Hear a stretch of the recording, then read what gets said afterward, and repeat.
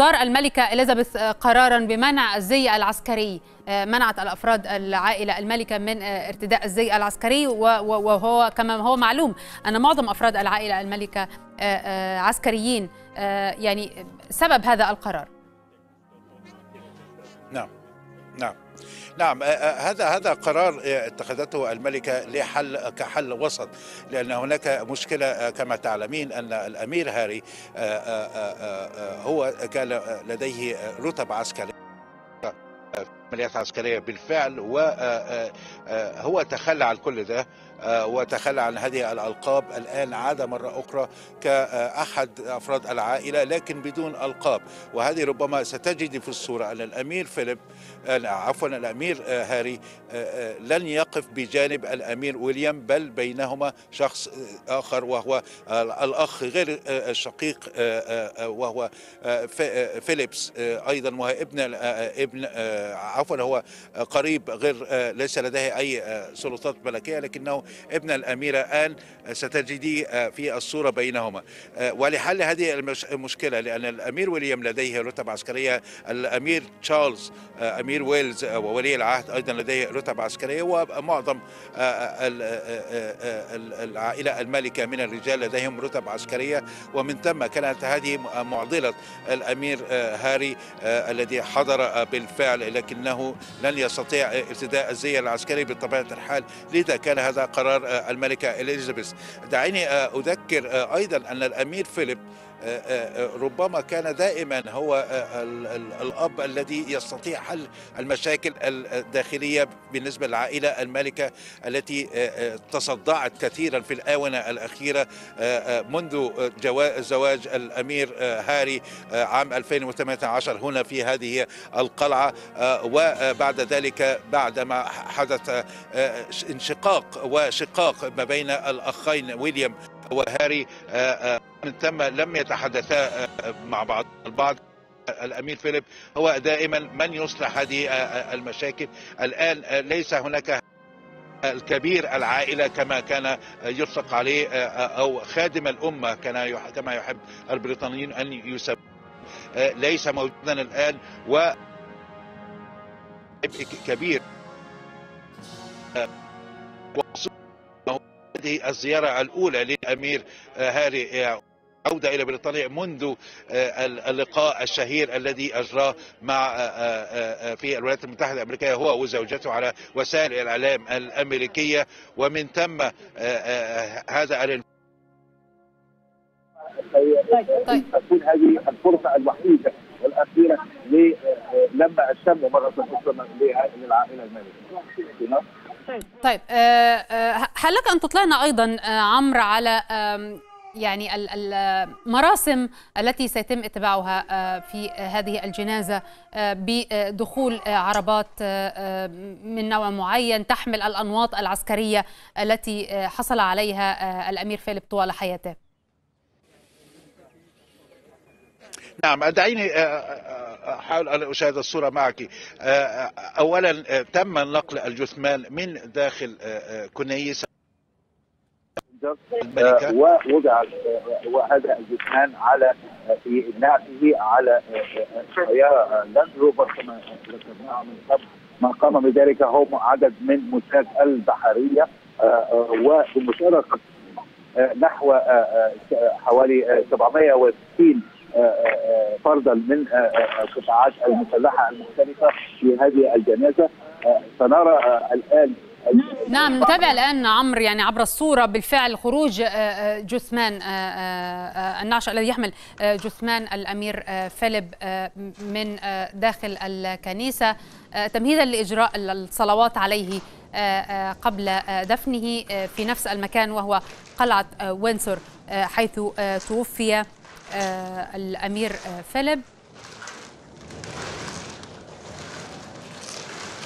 نعم هو بالفعل كما سنرى هذا الحرس الخاص سيبدأ بنقل النعش من الكنيسة الصغيرة أو الشابل الصغير من الداخل وهذا النعش كما نرى في الصورة سيتم نقله من قبل عدد من مشاة البحرية تقديرا لدور هذا الرجل هذا الأمير الذي كان قائدا بحريا بالفعل.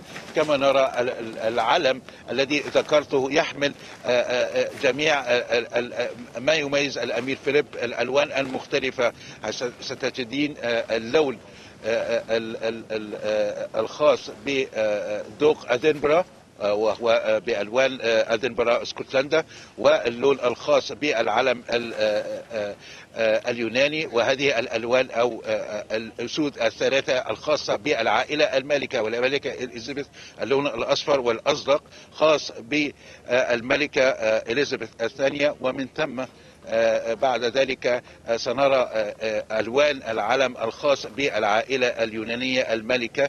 ثم يخرج هذا النعش. سيتم وضعه على السيارة الخاصة بالنعش وهي السيارة اللاند روفر التي بالفعل الأمير فيليب هو شخصيا كان مصمما لهذه السيارة بنفسه وتم وضع كل الأشياء اللازمة من أجل حمل النعش. من ثم سيتحرك هذا النعش ومن خلف العدد من الأسرة الملكة 30 شخصا ومن خلف هؤلاء سيكون هناك على الأقل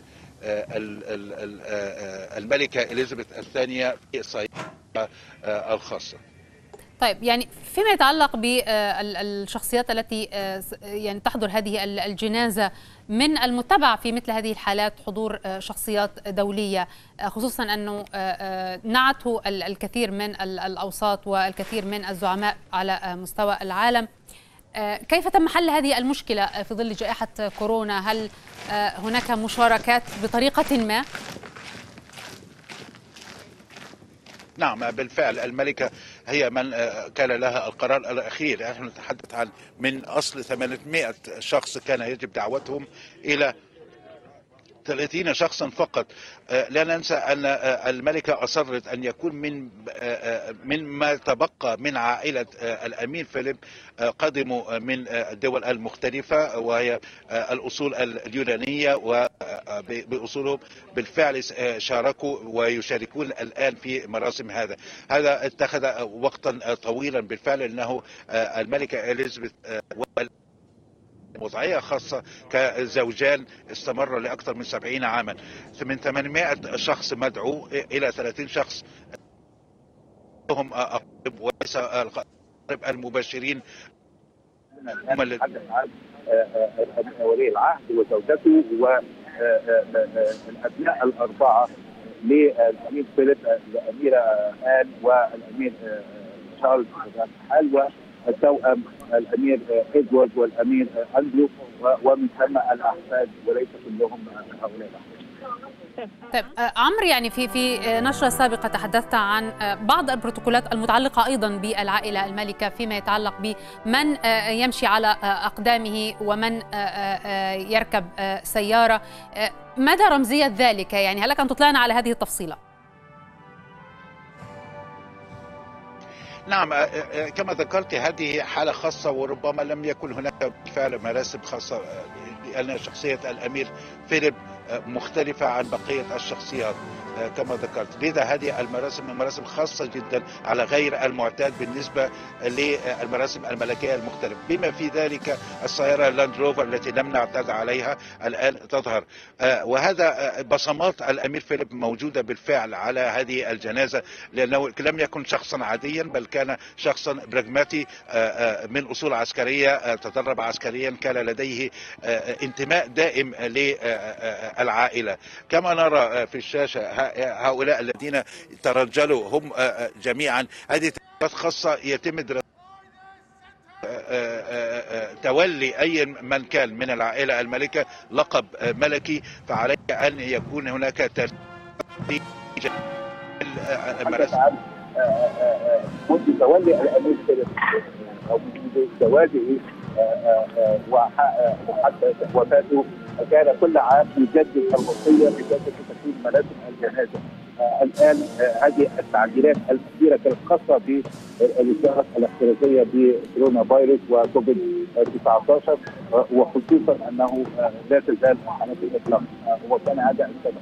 أيضا الأمير فيليب نفسه لا يريد سقط أو ضجه كبيره حول هذه الجنازة وبالفعل هو نجح في ذلك ورغم أنه لم يطلب هذه الجلبة الكبيره لكن وصية لم يلتزم بها أحد أن الشعب الآن حول هذا الخصم ربما المشهد لا نراه لكن حول الخصم الكثير والكثير ربما الآلاف مؤلفة حول الخصم تحاول ان تودع. الامير فيليب رغم أن كما نرى في الشاشة لدي طيب ابقى معنا عمرو نستمع الآن إلى طلقات المدفعية التي تطلق وهي 41 طلقة تكريما للأمير فيليب دوق ادنبرا الراحل.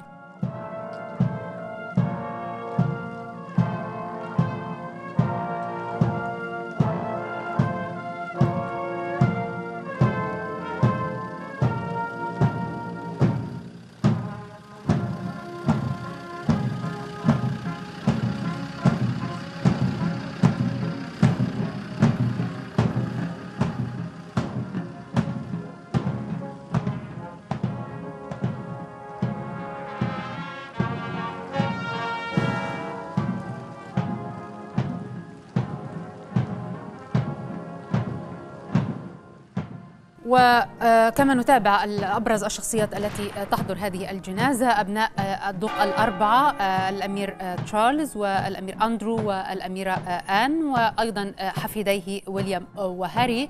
وهذا هو الظهور الأول للأمير هاري في أعقاب تخليه عن كل صفاته الملكية وانتقاله للعيش خارج بريطانيا. وأيضا بعد اللقاء التلفزيوني الشهير الذي أجراه ووجه فيه انتقادات للعائلة المالكة.